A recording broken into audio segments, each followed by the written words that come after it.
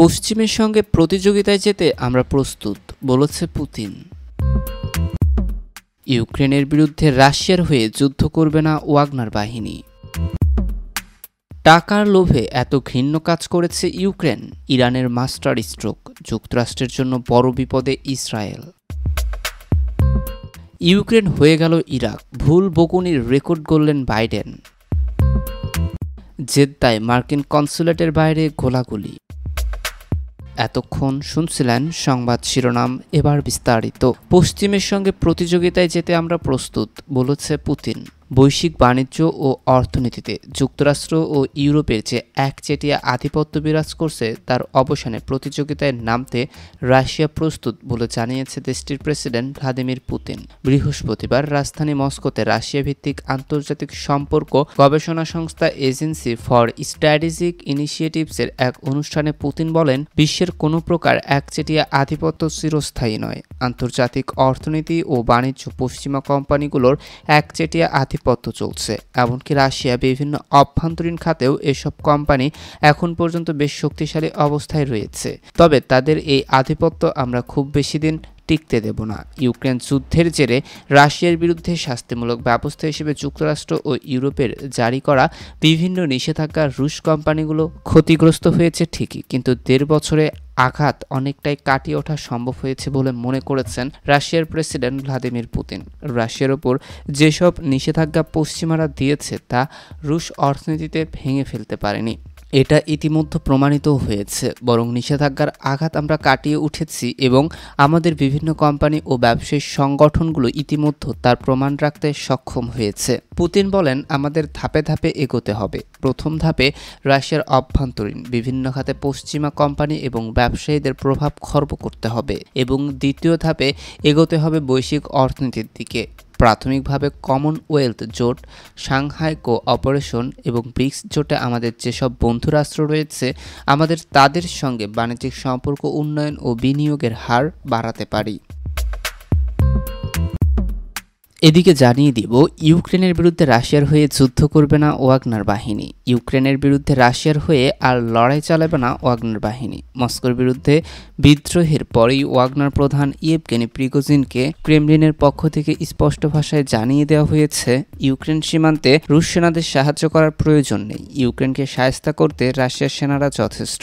রাশিয়ার সেনাবাহিনীর সঙ্গে চুক্তি করতে অস্বীকার করায় ভাড়াটে সেনা হিসেবে পরিচিত ওয়াগনার বাহিনীর প্রধানের সঙ্গে সম্পর্ক ছেদ করার সিদ্ধান্ত নেওয়া হয়েছে বলে বৃহস্পতিবার প্রেসিডেন্ট ভ্লাদিমির পুতিনের ঘনিষ্ঠ কর্নেল জেনারেল আন্দ্রেই কর্তাপোলভ এই কথা জানিয়েছে। গত শুক্রবার আচমকায় রুশ সামরিক বাহিনীর বিরুদ্ধে বিদ্রোহ ঘোষণা করেছিল ভাড়াটে সেনা হিসেবে পরিচিত ওয়াগনার বাহিনীর প্রধান ইয়েবগেনি প্রিকোজিন গত ফেব্রুয়ারি শুরু থেকে ইউক্রেন সীমান্তে রাশিয়ার হয়ে লড়াই চালাচ্ছে ওয়াগনার বাহিনী। ইউক্রেন সীমান্ত ছেড়ে মস্কো অভিমুখে রওনা হয়েছিল ব্রিগুজিনের নেতৃত্বাধীন বাহিনী। রোস্তব অন ডন এবং ভরনেস শহর দখল করেও নিয়েছিল প্রায়। কিন্তু আচমকায় বিদ্রোহে ইতি টানার ঘোষণা দেন প্রিগোজিন। রুশ সেনার হাতে ধরা পড়লে ধর্মুণ্ড আলাদা হবে এমন আশঙ্কায় তড়িঘড়ি রাশিয়া ছেড়ে বেলারুশে আশ্রয় নিয়েছে ওয়াগনার বাহিনীর প্রধান। গত সোমবার এক অডিও বার্তায় প্রিগোজিন জানান, রাশিয়ার প্রেসিডেন্ট ভ্লাদিমির পুতিনকে উৎখাত করার লক্ষ্যে বিদ্রোহ করা হয়নি।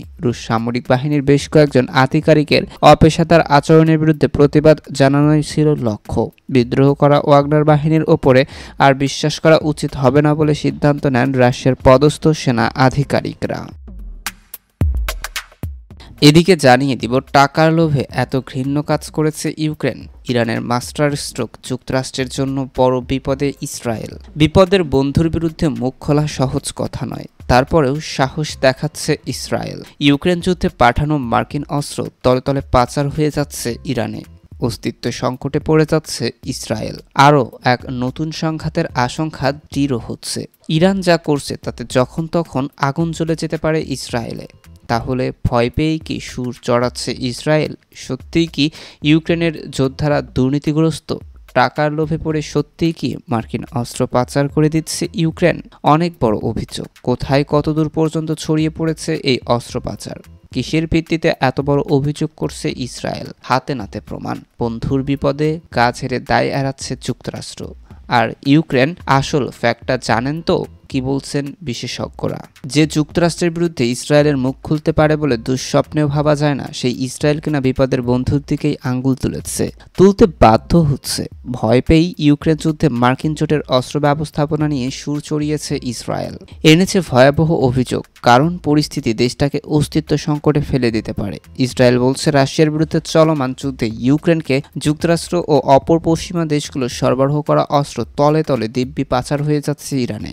আর মধ্যপ্রাচ্যের সিংহ ইরান, সেই সব অত্যাধুনিক মার্কিন অস্ত্র তুলে দিচ্ছে ইসরায়েলের প্রতিদ্বন্দ্বী দেশ এবং গোষ্ঠীগুলির হাতে। তাতেই বিপদ বাড়ছে ইসরায়েলের, উদ্বেগ বাড়ছে ইসরায়েলি সেনাবাহিনী, ইসরায়েল ডিফেন্স ফোর্সের। এবং এই মার্কিন অস্ত্র পাচার ইতিহাসের আরও একটা সংঘাতের জন্ম দিতে পারে বলে প্রকাশ করেছেন বিশেষজ্ঞরা। এসব অস্ত্র মধ্যপ্রাচ্যে ইসরায়েল ও যুক্তরাষ্ট্র উভয় দেশের প্রতিদ্বন্দ্বীদের সক্ষমতা বাড়িয়ে দিতে পারে। কারণ এখন পশ্চিমা বিশ্ব পূর্ব ইউরোপে চলমান সংঘাতের দিকে কনসেন্ট্রেট করেছে আর সেই ইসরায়েল ও যুক্তরাষ্ট্র উভয় দেশের প্রতিদ্বন্দ্বীদের সক্ষমতা বাড়িয়ে দিতে পারে। কারণ এখন পশ্চিমা বিশ্ব পূর্ব ইউরোপে চলমান সংঘাতের দিকে কনসেন্ট্রেট করেছে আর সেই ফাঁকেই ঘটে যেতে পারে বিপদ। জানা যাচ্ছে, যুক্তরাষ্ট্রের পাঠানো ট্যাঙ্ক বিধ্বংসী জ্যাভেলিন রাশিয়া ইউক্রেন যুদ্ধে উভয় পক্ষের আধা সামরিক বাহিনী ব্যবহার করছে। এই প্রসঙ্গে ইসরায়েলি সেনা কর্মকর্তা বলেছেন, রুশ বাহিনী মার্কিন অস্ত্র জব্দের পর অন্যত্র পাঠাতে আগ্রহী। মস্কো ও তেহরানের ঘনিষ্ঠ প্রতিরক্ষা সম্পর্কের কারণে মূলত এটা করা হয়। কিন্তু ইউক্রেনের আধা সামরিক বাহিনী মূলত অস্ত্র পাচার করে অর্থ উপার্জন করতে চাইছে বলে দাবি করেছেন তিনি। আর টাকার লোভে কৃষ্ণ সাগর হয়ে ভূমধ্য সাগর দিয়ে অস্ত্র পাচার হচ্ছে বলে অভিযোগ করেছে ইসরায়েল। এই পরিস্থিতিতে তাদের খুব বিপদে পড়তে হচ্ছে। কারণ ইরান এসব অস্ত্র নিয়ে গবেষণা চালিয়ে তৈরির পদ্ধতি শিখে নিতে পারে। এছাড়া যদি এসব অত্যাধুনিক অস্ত্র হিজবুল্লাহ হামাসের হাতে চলে যায়, তাহলে তো আর কথাই নেই। আর কত সংখ্যক অস্ত্র পাচার হচ্ছে তা নিরূপণ করা কঠিন। এদিকে জানিয়ে দিব, ইউক্রেন হয়ে গেল ইরাক। ভুল বকুনির রেকর্ড করলেন বাইডেন। বাইডেনের মুখে আবারও ভুল। ইরাক এবং ইউক্রেনকে বেমালুম গুলিয়ে ফেললেন তিনি। ইউক্রেন বলতে গিয়ে ইরাক যুদ্ধ বলে ফেললেন আমেরিকার প্রেসিডেন্ট জো বাইডেন। একদা ঘনিষ্ঠ ওয়াগনার সেনাদের রাশিয়া দখলের হুমকিতে সম্প্রতি ঘুম ছুটেছে রুশ প্রেসিডেন্ট ভ্লাদিমির পুতিনের। সম্প্রতি সেই নিয়েই প্রশ্ন করা হয় বাইডেনকে। জিজ্ঞাসা করা হয়, ওয়াগনার বাহিনীর সাম্প্রতিক বিদ্রোহে পুতিন কি দুর্বল হয়ে পড়েছেন? জবাবে বাইডেন বলেন, এটা বলা কঠিন, তবে পুতিন স্পষ্টতই ইরাক যুদ্ধে হেরে যাচ্ছেন। বিশ্বজুড়ে অপ্রিয় মানুষে পরিণত হচ্ছেন। শিকাগোয় একটি সভায় বক্তব্য দেওয়ার কথা ছিল বাইডেনের। হোয়াইট হাউস থেকে বের হওয়ার পর সাংবাদিকদের মুখোমুখি হন তিনি। বলা ভালো রাশিয়া ইউক্রেন যুদ্ধ শুরু থেকেই ইউক্রেনের পাশে থেকে সহযোগিতার হাত বাড়িয়েছে যুক্তরাষ্ট্র ও তার পশ্চিমী মিত্রগুলো। এই বিষয়ে পুতিন বলেন, শুধু ন্যাটো ইউরোপীয় ইউনিয়ন নয়, জাপান সহ বিশ্বের চল্লিশটি দেশের আমাদের সঙ্গে চোখ রয়েছে। তবে ইরাক ও ইউক্রেনকে গুলিয়ে ফেলার মুহূর্তটি ধরা পড়েছে বাইডেনের কথার মধ্যে, ইতিমধ্যে সামাজিক যোগাযোগ মাধ্যমে ছড়িয়ে পড়েছে সেই অংশ, যা নিয়ে হেসেছে পুরো নেট মাধ্যম। তবে বাইডেনের এই ভুল মন্তব্য অস্বস্তি বাড়িয়েছে। বিষয়টি হালকা করার চেষ্টা চালানো হচ্ছে। তড়িঘড়ি হোয়াইট হাউসের তরফে একটি বিবৃতিও পেশ করা হয়েছে। বিবৃতিতে জানানো হয়েছে, রাতে সিপিএ মেশিন ব্যবহার করেছেন বাইডেন। শ্বাস নিতে সাহায্য করার জন্য এই মেশিন ব্যবহার করা হয়। এই মেশিন ব্যবহারের কারণেই এমনটা ঘটেছে। এদিকে বাইডেনের এই মন্তব্যকে হাতিয়ার করে ব্যঙ্গ করতে ছাড়েননি রাশিয়ার পররাষ্ট্র মন্ত্রণালয়ের মুখপাত্র মারিয়া জাখারোভা। তিনি বলেন, বাইডেন কি সত্যি ইরাক বোঝাতে চেয়েছিলেন নাকি বোঝাতে চেয়েছেন ভিয়েতনামকে? তবে এই প্রথম নয়, চব্বিশ ঘন্টায় দুবার ভুল করলেন। বাইডেন। তহবিল সংগ্রহের একটি অনুষ্ঠানে ভুল করে ভারতের জায়গায় নাম বসান চীনের। সঙ্গে সঙ্গে ভুলটি শুধরেও নেন তিনি। সম্প্রতি নরেন্দ্র মোদী যুক্তরাষ্ট্রের সফরে যান। বাইডেন বলেন, আপনারা নিশ্চয় আমাদের প্রিয় বন্ধু একটি ছোট্ট দেশ তথা চীনের প্রধানমন্ত্রী নরেন্দ্র মোদীকে চেনেন? মাফ করবেন, ভারতের প্রধানমন্ত্রী নরেন্দ্র মোদীকে নিশ্চয়ই আপনারা সকলেই চেনেন। ভারত কোনো স্থায়ী জোটের সদস্য না হলেও কোনো অঞ্চলের প্রতিবন্ধকতা তৈরি করতে চাইছে না। তবে আশি বছর বয়সী বাইডেনের ভুল হওয়া খুব স্বাভাবিক নয় বলেই মত অনেকের।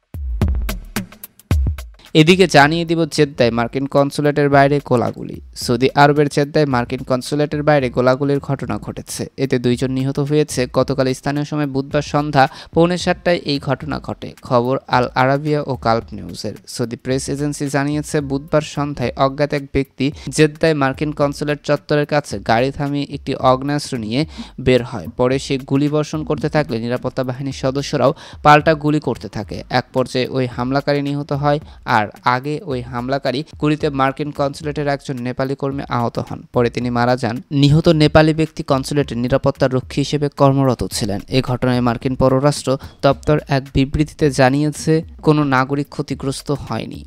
বিবৃতিতে তারা নিহত গার্ড সদস্যর পরিবার ও প্রিয়জনদের প্রতি সমবেদনা জানিয়েছে। এতক্ষণ আমাদের সাথে থাকার জন্য ধন্যবাদ। পরবর্তী সংবাদ সবার আগে পেতে আমাদের চ্যানেলটি সাবস্ক্রাইব করে পাশে থাকা বেল আইকনটিতে ক্লিক করে রাখুন।